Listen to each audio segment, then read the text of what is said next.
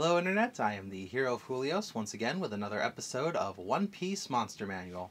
In today's episode, I'm actually not going to be talking about a creature, more so a subspecies of creature. So, the Sea Beast quality, as I'm calling it, is a addition you can put on any beast creature to turn it into a sea beast.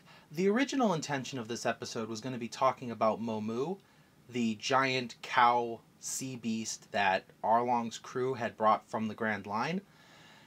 But the more I thought about it, the more I realized that Momu isn't the only sea beast out there, as we saw with the new Fishman pirates.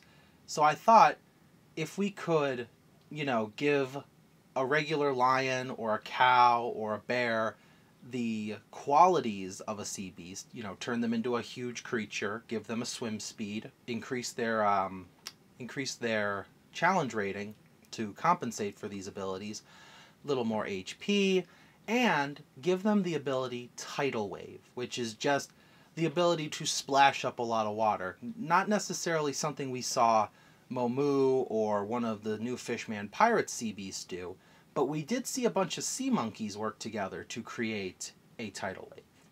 As such, I decided to blanket it and just give it to all of them. So the Sea Beast quality is something that you can add for the sake of a high sea adventure, giving your players another big old creature to fight if they so choose to, or something to tame to pull their ship along if they're, say, in the calm belt where they don't have any, you know, wind in their sails. All that aside, though, thank you for watching, and I will see you in the next video.